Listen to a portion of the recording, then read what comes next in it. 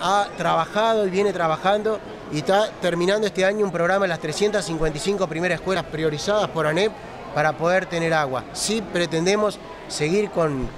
con poder abastecer de agua la mayor cantidad de gente. En la administración anterior regularizamos 170 barrios, 170 asentamientos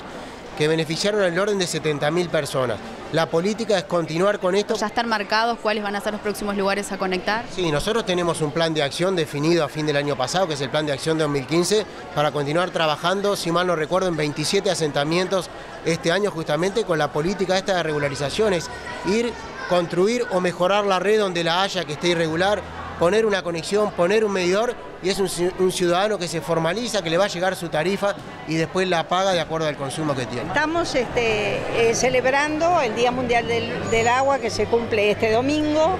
este, y eh, eh, dentro de todas las, este, las actividades que se han programado, esta es una muy importante porque apunta a las escuelas, a los niños, al cuidado de, este recurso natural que tenemos todos que tener eh, eh, la, cultura del cuidado y la cultura de protegerlo, porque a pesar que nosotros somos un país este, que hacemos uso del agua para todo y nos da la sensación que es un recurso ilimitado, no lo es.